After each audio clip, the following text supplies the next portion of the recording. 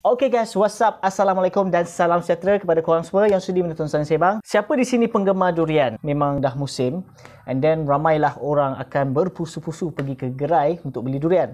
Especially di tempat aku ni memang tempat yang viral lah. Okay, Taman Medan yang mana uh, durian-durian kat sini memang bukan sahaja penduduk kat sini beli tapi penduduk kat luar pun beli. Kau boleh nampak pelbagai bangsa ada kat sini lah. Biasanya kalau macam kawasan aku ni kebanyakan banyaknya uh, Melayu, majoriti dia.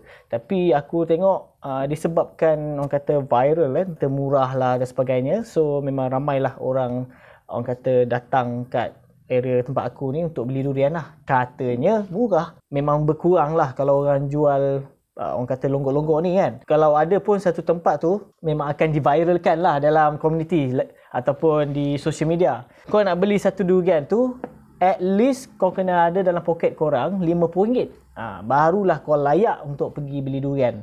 So kalau macam kau tengok sekilo paling murah kau boleh nampak sekilo 15. Kau tak akan nampak lah sekilo 10. Kalau kau nampak viral tu, sekejap je habis. Memang jauh daripada tempat korang lah. Okay, kebiasaan dia macam tu lah. Kan sekarang kan musim PKPP. Still lagi dalam, orang kata musim COVID lagi. So, ramai orang akan pergi dengan memakai mask. Satu hari tu, aku pergi juga beli. And then, tak pakai mask, naik motor waktu tu. So, harga yang ditawarkan, contoh macam, okay, 30.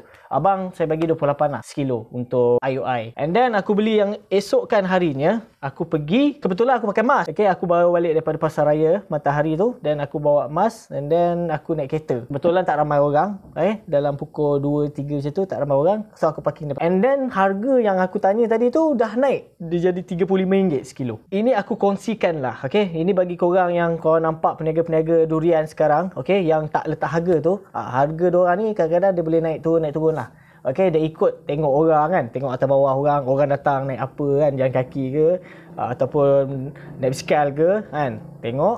Uh, dia akan letaklah harga kan. Kalau tak untung banyak kan. Uh, time tu lah dia akan bagi harga-harga yang sedap hati dia nak bagi. Tapi kalau penipu ni aku dah biasa jumpa lah. Dan aku rasa korang ni pun dah biasa jumpa. Kadang-kadang aku pergi satu kedai yang mana dia kedai ni dia tak ramai orang. Time tu lah dia boleh fokus kat kita lah. First aku cakap kat dia aku nak cari durian yang isi tebal. So dia akan flower lah di 24 ataupun IOI. Risiko dia, dia akan rasa tak sedap juga macam durian biasa. Melainkan korang order Musang King. Musang King ni dia akan sentiasa sedap lah. Okay, sebab dia mahal. Risiko kepada durian-durian yang macam ni, di 24 ke, IOI ke, kampung ke, apa ke semua sebagainya, kau akan dapat uh, durian yang maksudnya dia akan berair kat dalam, dia tak macam okey lah. Okay? Dia akan buka area-area yang mana yang dia rasa ni. Aku make sure kulit durian tu, dia tak ada terbuka. First, pertama.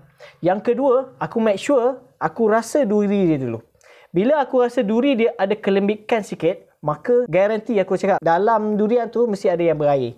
So aku tak galakkan lah sebab ini akan menyebabkan korang punya durian tak dia akan masam lah cepat. So aku tak akan galakkan korang uh, pilih yang macam tu lah. Sebab tu kadang-kadang orang ni ambil yang dah lama. Faham tak? Ha, peniaga ni pandai kan.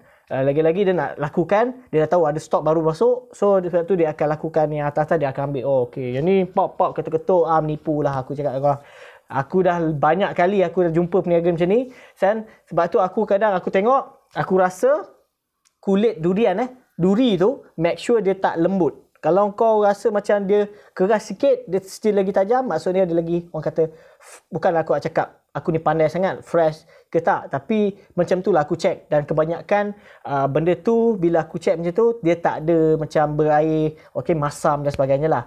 Okay and then so bila dia rasa aku make sure aku nak kata aku nak buka semua. Sebab aku tak ada aku cakap aku tak ada tools parang ke apa ke so aku nak buka semua. So kebetulan waktu dia buka yang aku beli mahal tu kebetulan yang ni tak elok. So terus aku kan. Okay biasanya aku beli kilo. Aku tanya kat dia uh, Berapa sekilo? Berapa sekilo? And then dia cakap Okay RM28 So aku cakap Kalau macam rosak Boleh ganti tak?